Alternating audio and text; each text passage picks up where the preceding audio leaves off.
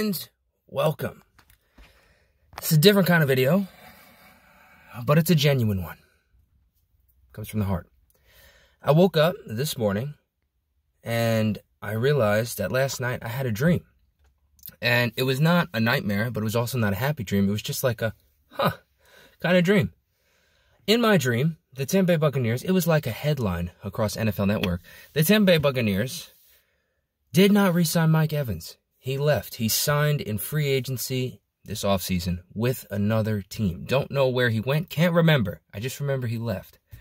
And the weird thing is, it just hit me in the dream. And then it hit me when I woke up like different. Like everybody knows the Bucs have to re-sign Mike Evans, right? Everybody wants the Bucs to re-sign Mike Evans. Everybody's hoping for it. But has it really sunk in what it's going to feel like if slash when the Buccaneers don't re-sign Mike Evans? Because I feel like I had just been playing around and it hadn't really sunk in and hit me until this morning when I woke up from that dream. Because when I woke up, I was like, it just I I couldn't even put the pieces together in my head. It hurt so much. It was so like just makes you question things.